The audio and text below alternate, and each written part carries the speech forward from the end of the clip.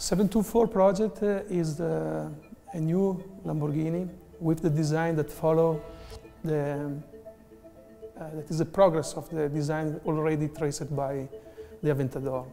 Now we have a new car with a totally different uh, approach where we are uh, using the DNA of our company, of our uh, iconic cars to express a completely new and modern concept.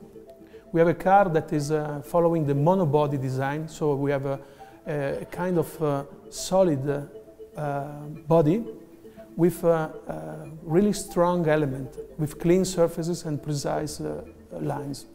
So the design is uh, built around a package that is uh, very modern, that is able to combine the daily usability with a, a state-of-the-art level of performances.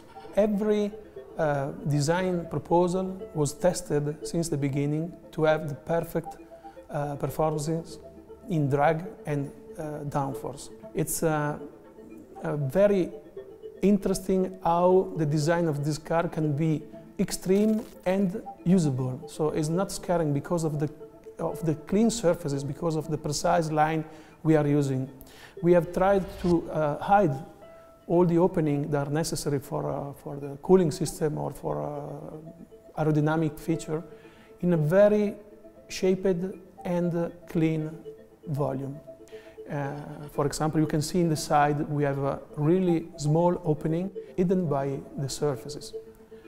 We have a strong feature in terms of uh, style. It's the hexagon that is the, designed around the, the side opening. It's a feature that we like. It's a kind of uh, DNA arriving uh, also from, uh, from the Aventador. And we love to work with this kind of geometrical line. You can find hexagon everywhere in the car, starting from the, from the front lamps, arriving to the rear grille. Every solution of design is driven by functionality and by a little game made of design.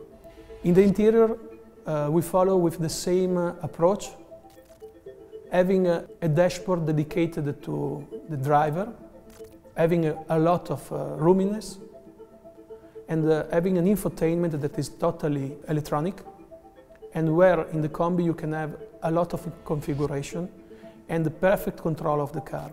All the design uh, you see in this car is made in Sant'Agata Bolognese, in our company, in the Centro Stile.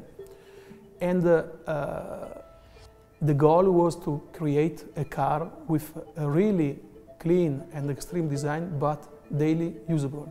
This is very important for us because in this way a lot of customers can enjoy the Lamborghini way.